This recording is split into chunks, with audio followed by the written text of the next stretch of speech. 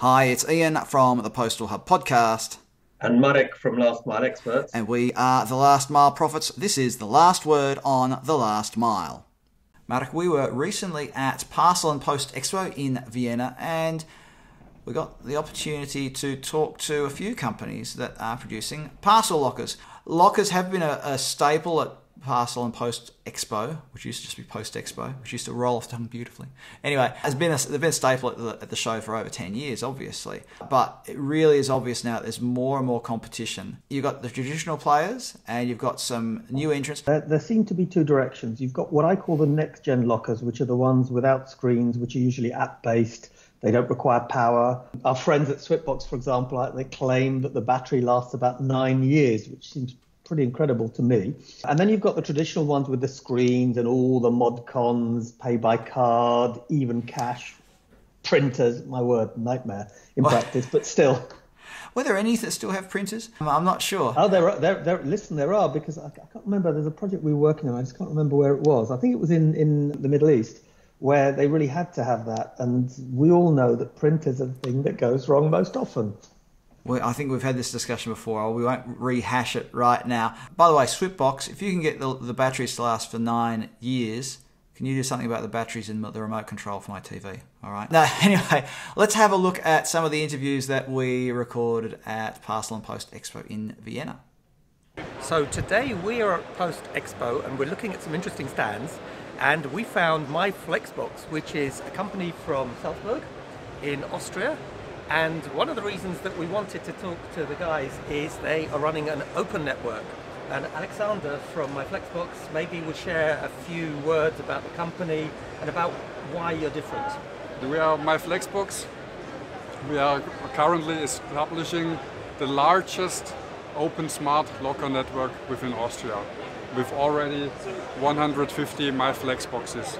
And we want to double the, next, the network by next year and they're also close to my heart because their first customer, I believe, is DPD, where I spent over 10 years of my life. So I think it'll be interesting. We'll watch how you guys develop with great interest. Uh, I think you've got about 150 lockers in situ now, so let's see how that grows. What are your plans for the next year? Um, yeah, we want to um, double our network. So by the end of next year, we want to reach 400 smart lockers in Austria, and in total, we are planning to do 800 to 1,000 smartphones. So let's let's watch this space. Next year we expect 400 plus machines when we're at Post Expo. Be interesting to catch up. Now we are at the KEBA stand, and I'm with Caesar, who's going to tell us some interesting things about KEBA lockers. Now I'll start off with one interesting story that in a way you guys are almost the father or the father and mother of lockers in Europe. So can you tell us a bit about that? Well, actually, you're right. Uh, in the year 2000, together with DHL, we decided to bring the solution which is now known as the parcel locker. So the idea was the following. DHL were thinking about how to, you know, reach the customers, don't make it go so far away, especially because they don't have postal offices. So we came with this fantastic idea. So it was a joint development, and now you can see it everywhere. You know, we, we even uh, we are amazed that it has such an acceptance everywhere. And I have to say that we noticed that everybody is asking about lockers. I think COVID has really made it happen. But is there something you can share, something really unique that you think is now happening in the locker space that people would be interested in hearing? Well, uh, first of all, uh, I think uh, you have mentioned several times already, but it's about efficiency. You know, if you have a parcel locker, you can have 50, 60, maybe more deliveries in one place. You know, it saves a lot of resources, not only the driver, what about emissions, and also the time that is invested. So first of all is the synergy, because especially if you have to scale up, you know that because of e-commerce, especially in COVID, there's a lot of demand of the of deliveries. So you can consolidate and it's easy to scale instead of buying more trucks, more people.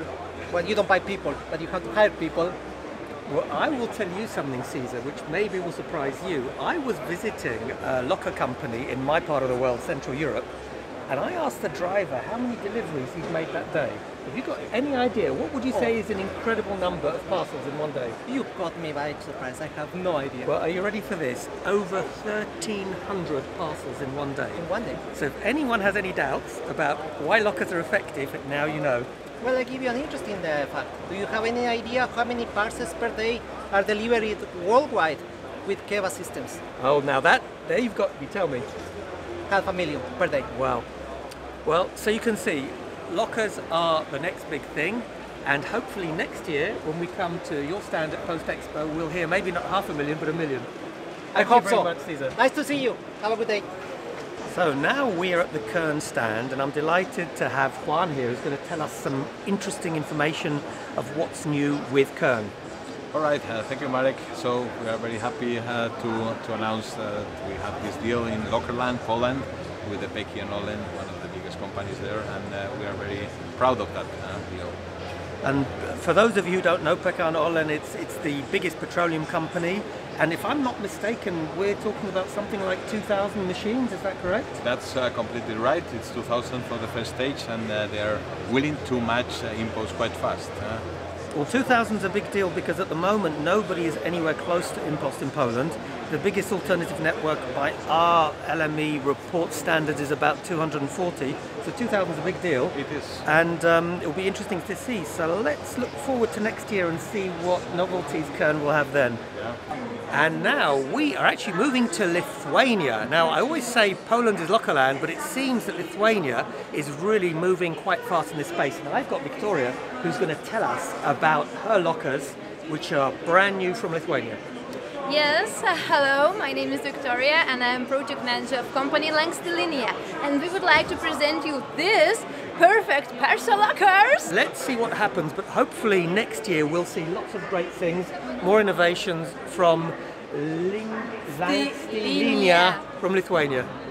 So, Marek, now that we've seen all that, any final comments before we wrap up?